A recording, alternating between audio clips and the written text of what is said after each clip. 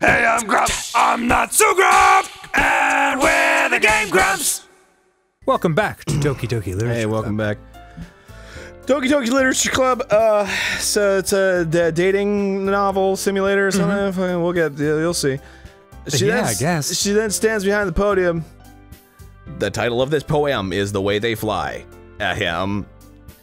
Monika begins reciting her poem. Her clear, confident voice fills the room. More than that, her inflection is pristine, almost robotic. she knows exactly how to apply emotion behind each line she recites, bringing the words to life. Downloading inflection. It's like she studied it. Yeah.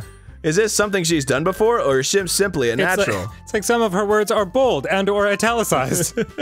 I glance around me. Everyone has their eyes on Monika. It's almost as if they're transfixed, like in a trance that a robot would have. Sayori looks amazed. Yuri has an intense expression on her face that I don't understand. it's hate. She's drooling. Finally, Monika finishes the recitation.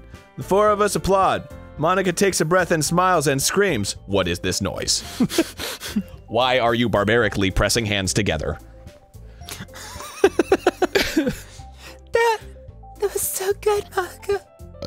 Ah ha ha ha ha ha. Thank you very much. I was just hoping to set a good example. Are you ready to go next, Sayori? Oh, I'll go next.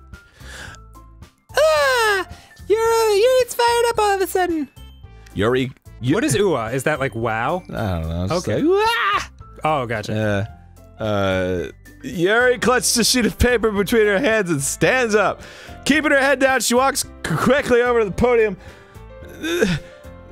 This poem is called Yuri anxiously glances at each of us. You can do it, Yuri. It's called After Image of a Crimson Eye. That's fucking weird. Yuri's voice shakes as he starts reading the poem. Just a moment ago, she practically refused to do this. Why is she so suddenly putting in so much effort? Why am I talking to myself? As Yuri gets past the first Why am I couple of talking lines, out loud while she's trying to recite a poem? as Yuri gets past the first couple of lines, her Uh, voice I- changes. uh, uh, It's almost like what happens when Yuri gets absorbed into her books. Her quivering words transform into the sharp syllables of a fierce and confident woman. The poem is full of twists and turns in its structure that she enunciates with perfect timing. This must be a rare glimpse into the whirling fire Yuri keeps concealed inside her head. Suddenly, she's finished. Her brains must be soft and delicious. Everyone is stunned. Yuri snaps back into reality and glances around her as if she bewildered even herself. I. It's up to me to save this situation. B- banana Pope! Have a potato! I- I'm the first to start applauding. Everyone joins me afterward to give Yuri the recognition she deserves. It's not that we didn't want to applaud for her, but we were caught so off guard that we must have forgotten. Yeah, that's what I'll say to her. As we applaud, Yuri holds the poem to her chest and rushes back into her seat. she trips over five potatoes and falls. She's hurt very badly. But we laugh anyway. Then I eat a Monika, potato. Monika uses her healing factor. Her finger transforms into a syringe. I didn't know she had this power. She's an interesting girl. Yuri, that was really good. Thank you for sharing. Looks like Yuri's down for the count. Okay. She's done. I guess I'm next then. Sayuri, Sayuri hops out of her chair and cheerfully walks to the podium. This one's called My Meadow. Not your meadow. my neck. My meadow. My pussy and my meadow. Uh, anyway, Ah. Sorry, I giggled. Yeah, yeah, I know. Sayuri, it's a lot harder than I thought. fucking do it right. How did you guys do it so easily? Ah, try not to think of it like you're reciting to other people. Imagine you're reciting it to yourself, like in front of a mirror or in your own head. It's your poem, so it'll come out the best that way. I see, I see. Okay then. Sayori begins. I mean, Sayori begins her poem. It sucks. So- somehow it feels like her soft voice was made as a perfect match. lighting a powder keg of shitty poetry. The poem isn't aimlessly cheery like Sayori is. It's serene and bittersweet.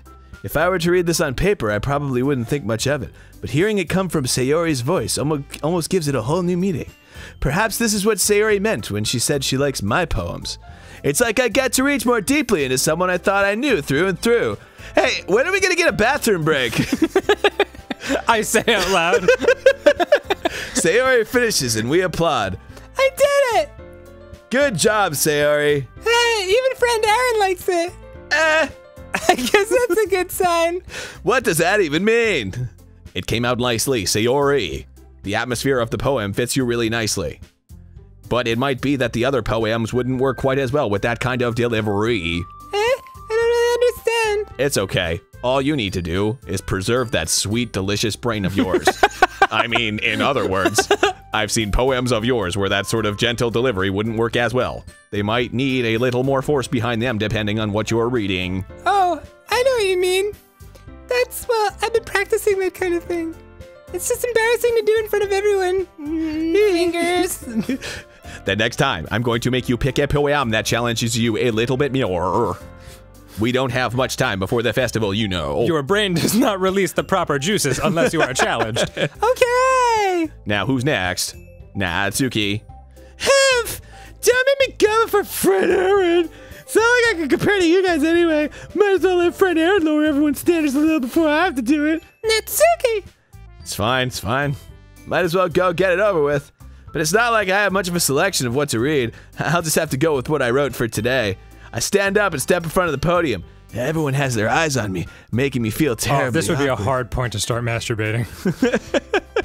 I recite my poem. Especially since two of them are looking like sort of disapprovingly. Yeah. Come on. Hairbow girl and robot woman are into it. Since I'm not exactly confident in my own writing, it's hard to put the energy into it. Sorry, I was just punching my fist. Despite that, once I finish, I receive applause anyway. Sorry, I'm not really.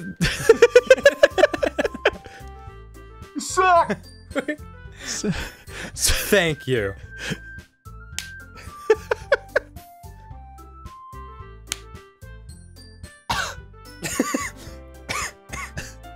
Sorry, I'm not really as good as everyone else.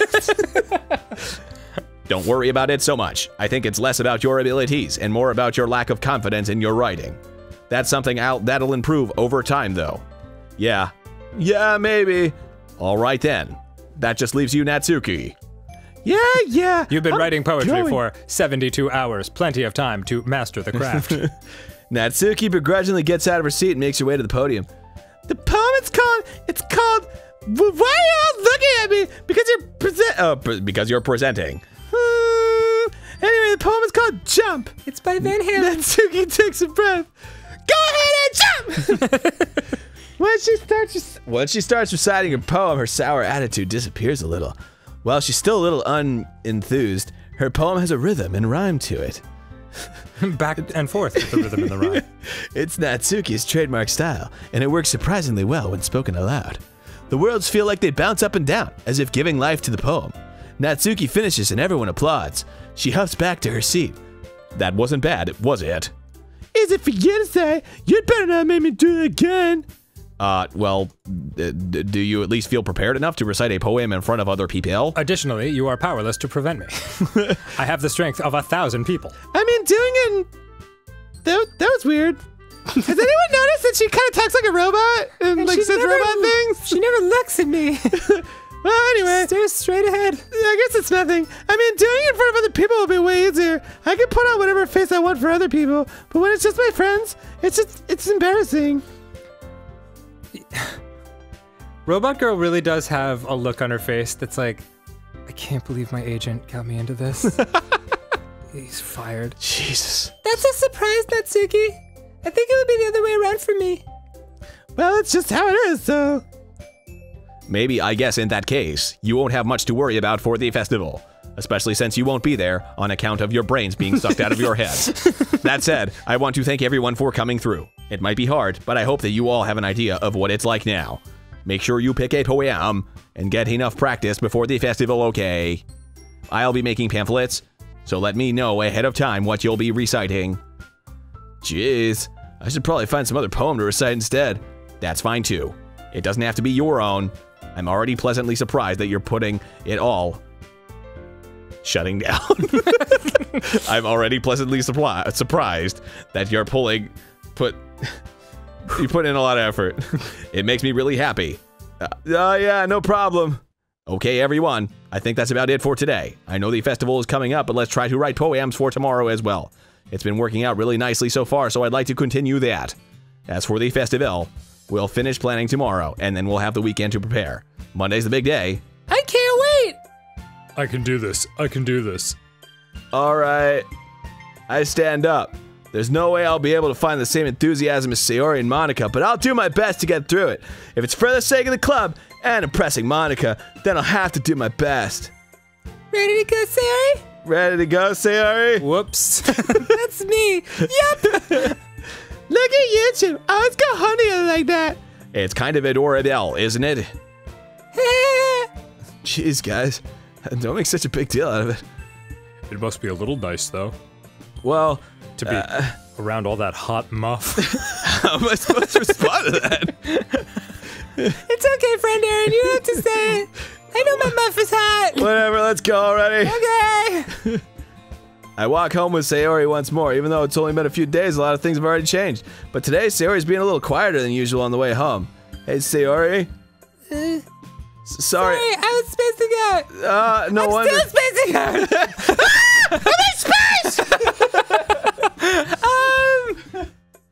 Oh, ah, shit. oh, whoa. Yeah. Okay. Wow, that's if you want the Zork text adventure version of this game. I was thinking about something from earlier. I like how we get to. I mean, Sayori fumbles with her words. Sorry, I'll go home. Sayori fumbles with her words. so let's do this one day Yuri asked to walk home with you. Huh? What would you do? What kind of question is that? You're kind of putting me on the spot here. Ah, Oh, I would still walk home with Sayori. nice. Sayori, you really think I would ditch you for Yuri? Hell yeah. but she's so beautiful and smart. Yeah, that's true. None of those things describe you. Yeah, but you know what? She's not here, so I can answer this question falsely. I already see her in the club every day. Besides, you always seem to really like going home together. I wouldn't just ruin that for you.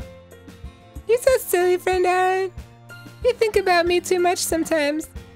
Yuri would deserve it if she wanted it, so. Sayori, I've already made up my mind. I really can't figure you out sometimes. Sorry.